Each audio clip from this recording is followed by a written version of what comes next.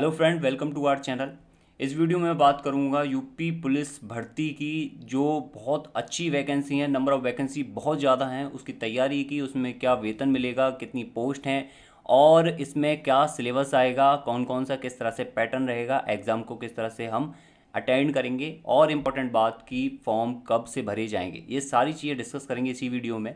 सबसे पहले बात कर लेते हैं इसमें नंबर ऑफ़ वैकेंसी तो इसमें टोटल वैकेंसी है नौ हज़ार पाँच सौ चौंतीस। नौ हज़ार पाँच सौ चौंतीस वैकेंसीज को तीन पोस्ट में डिवाइड किया है। एक तो उप निरीक्षक नागरिक पुलिस और दूसरा प्लाटून कमांडर तीसरा है अग्निशमन द्वितीय अधिकारी।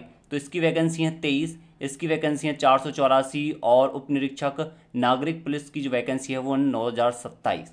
इन तीन वैकेंसीज पर, तीन पोस्ट पर नौ हज़ार पाँच सौ चौंतीस, लगभग साढ़े नौ हज़ार पोस्ट बहुत सारी पोस्ट हैं। इसमें बात कर लेते हैं आवेदन स्टार्ट होने की। तो जो तिथि है, वो है एक अप्रैल। आज से लगभग एक मंथ बाद आवेदन स्टार्ट होंगे। विज्ञप्ति का पहले से ही बता दिया गया है और एक महीने तक फॉर्म को फिल किया जा सकता है। फॉर्म की फ़ीस रहेगी चार सौ रुपये। ठीक है? एक अप्रैल 2021 से फॉर्म भरने स्टार्ट होंगे। इसके बाद बात करते हैं इसमें एजुकेशनल क्वालिफिकेशन की, शैक्षिक आर्यता की। सबसे पहली जो पोस्ट है उप निरीक्षक नागरिक पुलिस और प्लाटून कमांडर, दोनों पोस्ट जो नौ हज़ार सत्ताईस पोस्ट हैं एंड चार सौ चौरासी पोस्ट हैं, इन दोनों के लिए आप कोई भी डिग्रीज ले जिसके पास कोई भी डिग्री हो, ठीक है, ग्रेजुएशन की, वो इसमें अप्लाई कर सकता है और अग्निशमक द्वितीय अधिकारी के लिए आपको साइंस से ग्रेजुएट होना आवश्यक है। इसमें आपके पास साइंस होना ज़रूरी है और इसमें आप किसी भी डिग्री से इसमें अप्लाई कर सकते हो और ये पोस्ट अग्निशमन की कितनी है? Twenty three in twenty three post के लिए साइंस से ग्रेजुएट होना आवश्यक है। ओके इसके बाद कुछ एडिशनल चीज़ें हैं, वो मैं बता देता हूँ। इसमें आपको, अगर आपके पास ओ लेवल का जो सर्टिफिकेट है, अगर वो होता है तो वो भी आपके लिए काउंट होगा। ओके जिसमें कोई भी मार्क्स नहीं मिलेंगे। इसका बस एडिशनल आपको वरीयता दी जाएगी। इसके कोई भी मार्क्स नहीं होंगे। अगर दो केस फंसते हैं तो उसमें वरीयता आपको मिलेगी, जिनको ओ स्तर जिनके पास ओ स्तर का प्रमाण पत्र होगा।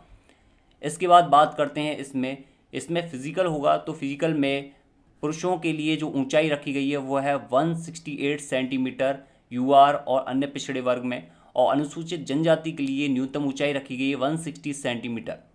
इसके साथ सीने के माप की भी इसमें बताया गया है और सेम महिलाओं के लिए भी इसमें फ़िज़िकल के लिए क्या क्या ऊंचाई और रहनी चाहिए, इसमें कितना वेट रहना चाहिए, वो सभी बताया गया इसके बाद बात करते हैं, इस लिखित परीक्षा में क्या क्या चीज़ें होंगी, कितने नंबर का पेपर होगा और इस इंडिविजुअल पेपर में सिलेबस क्या होगा।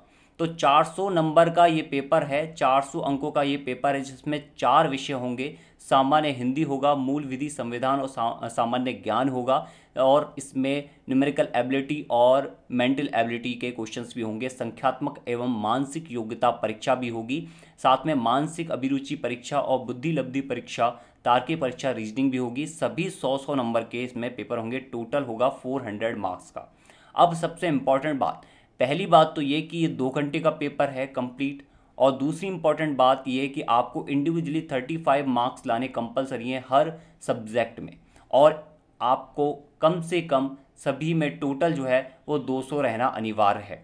200 अगर आपके नहीं हैं तो आपको नेक्स्ट स्टेप के लिए शामिल नहीं किया जाएगा। इसमें इंडिविजुअली 100 नंबर में से आपको 35 स्कोर करना ज़रूरी है, सामान्य हिंदी, इस तरह से संविधान, इस तरह संख्यात्मक जो योग्यता परीक्षा है, उसमें सभी में 35 नंबर लाने ज़रूरी है थर्टी फाइव परसेंट और ओवरऑल आपके 200 मार्क्स होने ज़रूरी हैं।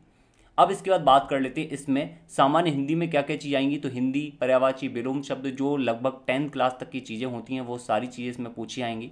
सामान्य ज्ञान में मूल विधि, संविधान और सामान्य ज्ञान से संबंधित इसमें उत्तर प्रदेश की भी जीके पूछी जाएगी। बाहर के लोग भी अप्लाई कर सकते हैं। अगर उनको उत्तर प्रदेश की जीके नहीं की है उन्होंने, कोई बात नहीं, लेकिन बाकी जो है सब्जेक्ट करके आप 35 परसेंट स्कोर कर सकते हो और रिमेन आप दूसरे जो सब्जेक्ट्स हैं, उनसे भी स्कोर कर सकते हो। अब इसके बाद बात करते हैं इसमें संख्यात्मक एवं मानसिक योग्यता परीक्षा की। तो number system simplification decimal fractions and highest common यानी एस और LCM percentage profit loss discount simple interest compound interest partnership average time in work time and distance और टैबलेट ऑफ़ ग्राफ्स यानी डी आई के question arithmetic competitions and analytic functions mensuration इस तरह के बहुत simple से इसमें टॉपिक हैं, साथ में लॉजिकल डायग्राम सिंपल रिलेशन और इसमें रीजनिंग के भी टॉपिक को क्या किया है इंक्लूड किया है। इसके बाद बात करते हैं इसमें फोर सब्जेक्ट जो कि हंड्रेड नंबर का ही है, जिसमें से आपको थर्टी फाइव मार्क्स मिनिमम लाने हैं, मानसिक अभिरुचि परीक्षा और बुद्धि लब्धि परीक्षा या फिर तार्किक परीक्षा में। इसमें रीजनिंग के ही काफ़ी सारे जो पॉइंट्स हैं, वो इसमें मेंशन हैं। और mental toughness law and order और ability and adaptability police system इसके बारे में आपको पढ़ना ज़रूरी है। Analogy series and competition direction sense test and चार type Venn diagram problem based alphabet काफ़ी सारी जो चीज़ें हैं, आपने ऑलरेडी पढ़ रखी होंगी। और मैं आपको अपने चैनल पर भी इसकी शॉर्ट वीडियोस प्रोवाइड करूँगा इन सभी कंसेप्ट की। Okay thank you good luck best of luck इसकी लिंक मैं डिस्क्रिप्शन में डाल दूँगा, जैसी अप्लाई की लिंक चालू होगी, इसकी लिंक मैं डिस्क्रिप्शन डाल दूँगा, आप वहाँ से जाके अप्लाई कर सकते हो। इस फॉर्म पर विशेष ध्यान देना और इसकी तैयारी अभी से स्टार्ट कर देना, बहुत जल्दी इसका प्रोसेस कंप्लीट हो जाएगा। ओके जी गुड लक